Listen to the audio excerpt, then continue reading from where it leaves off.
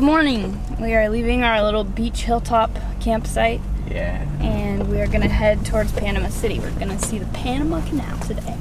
Um, we got to upload a video, and so we're going to try and find a place to get some work done. And Yeah, we actually had a local tell us that she goes, uh, they have local beer and really good Wi-Fi at TGI Fridays. so we're gonna go to TGI Fridays and sit on the canal, watch sailboats go past, and uh, even though we're on our dream trip, we're gonna sit there and dream about being on a sailboat one day going through. So it should be cool. Yeah, so uh, it was a really nice spot last night. Actually, it, Yeah. it was a cool view, and you could hear the waves. It was really quiet. We weren't bothered, so it was nice. Uh,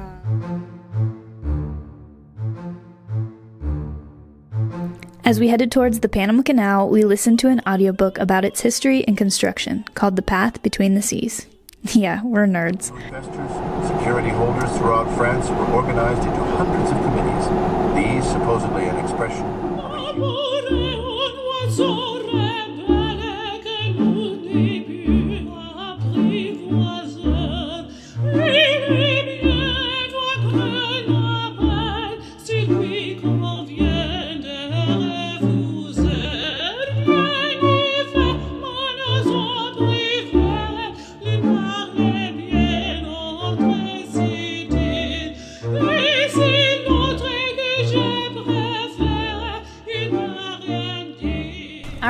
it over the Panama Canal, and we are at the Miraflores Locks.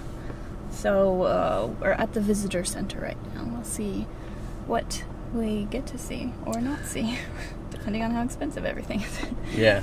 Uh, we'll check out as much as we can, that's for sure, even like just from the outside. I don't know if it's like 20 bucks or 50 or 10 or 5, so we're going to go find out. But it's pretty awesome to actually be here. I've seen like documentaries and all that, and we're mm-hmm. listening to a book on tape as we drive right now Yeah. about the path between two seas.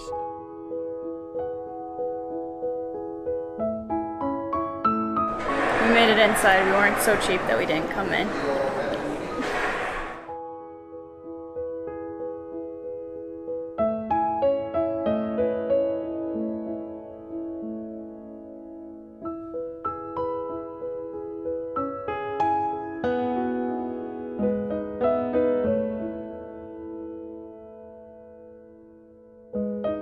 It was really neat to walk around this little museum and get a visual of everything we had been learning about in our book.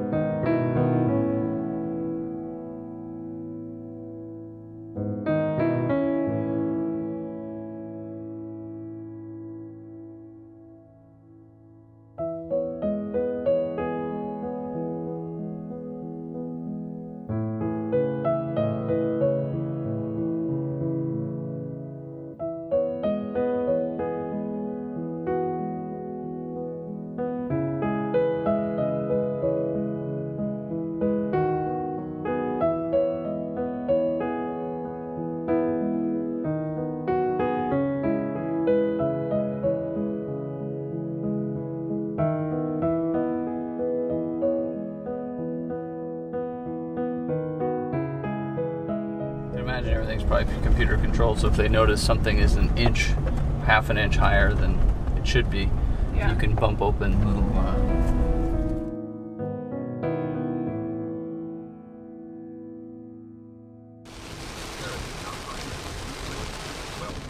Unfortunately, it's really rainy and we can't see much.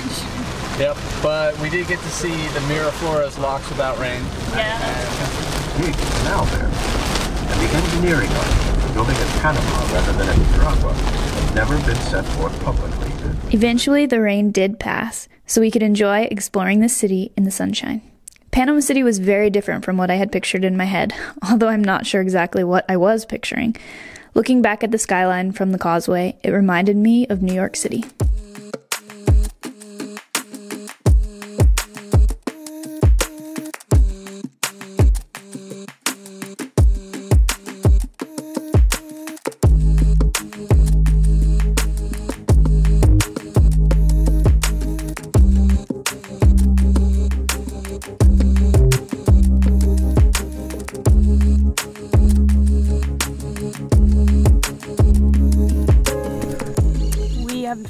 Sort of found a camp spot. We spent all day wandering around looking for camp spots, and um, we found a place that's hidden. let's block the sun there. We found a place that's hidden, but it's full of mosquitoes. Yeah, so that's our that's our you know okay, no one will know we're camped here spot if that's what we need. But check out the view we have at this spot, which is our let's hang out here at least until it's dark. Yeah. So I probably won't stay in this exact spot because uh, it might be it's Friday night and probably people come up here to hang out at night. So we'll tuck away. You think? Yeah, it's one of those spots that I would come to if I were a high school kid or something. This is where you go to drink beer. It's looking at the, the Panama Canal, which is pretty rad, and it's a perfect little flat gravel spot. So uh, it's a good camp spot. And so if we don't see anything, maybe we'll stay right here. But we at least know we've got our other little spot to uh, run off to, so that's good. We did end up staying at this spot. The view was just too good. We watched the trains and boats pass by while we continued listening to our book.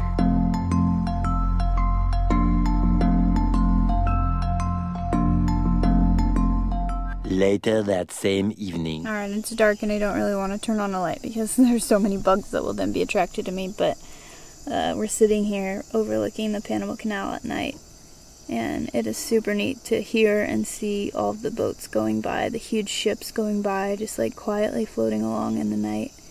And um, as we were sitting up here, we saw a defender drive by on, on the road below, and maybe 30 40 minutes later he happened to pull up next to us and he goes, Hey guys.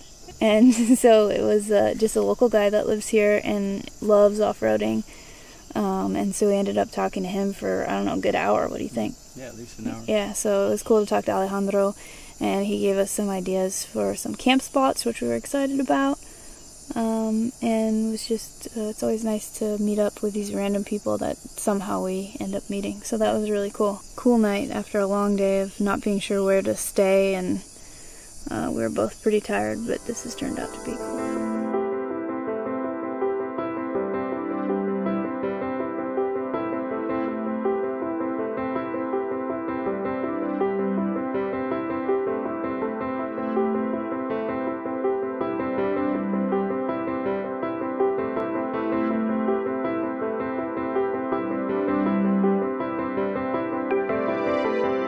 Sometimes my mind is blown by the views I get to enjoy with my morning coffee.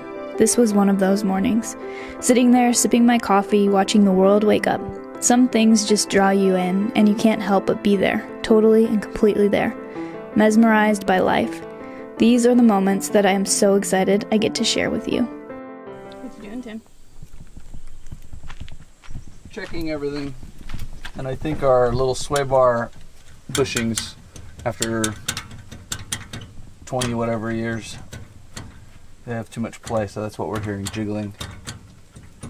I don't like any noises from underneath the truck. It should be nice and quiet, so um, at least I know what it is, and it's not important. Um, maybe at highway speeds important, but so the sway bar's still connected, but the bushings not on the not the rubber ones actually on the truck side, which is what I would think would uh, die over time.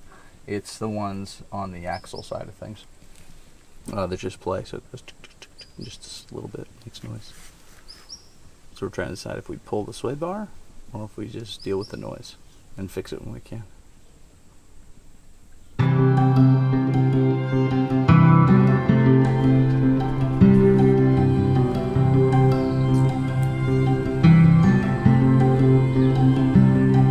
We decided to head out of the city for a night. Our new friend Alejandro had recommended an area that he liked to camp. So off we went.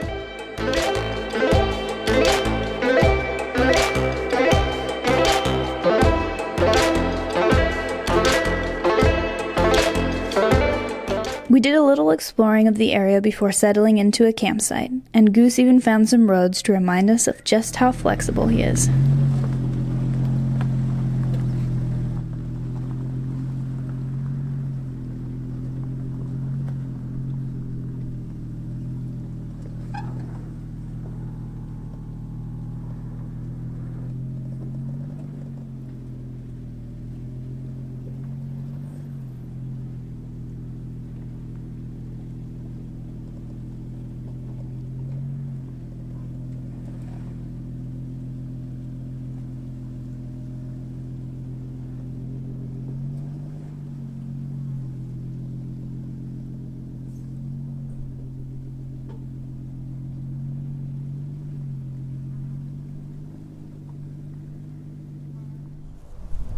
When we did settle into camp for the night, it was a blustery mountaintop, so we tucked into the trees and enjoyed a nice sunset. Very pleasant today. However, we are looking for a new front to begin to drift south and eastward. The central and eastern parts of Kansas will very probably be cloudy in the morning, and then western Kansas will begin to get increasing cloudiness by tomorrow afternoon.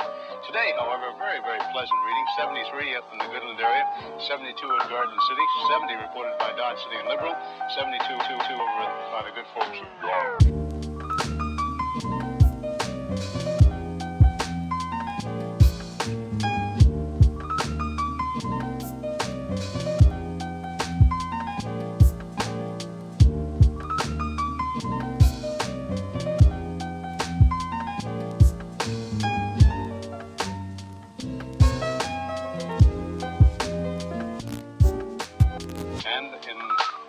the City Blackwell area, 68 degrees today.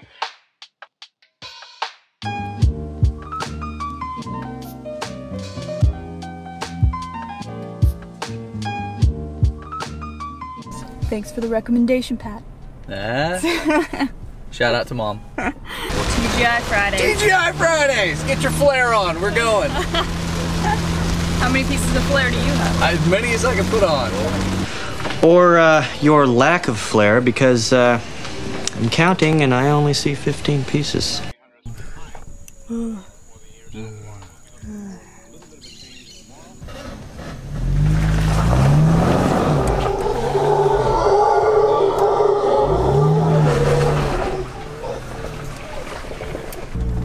The end.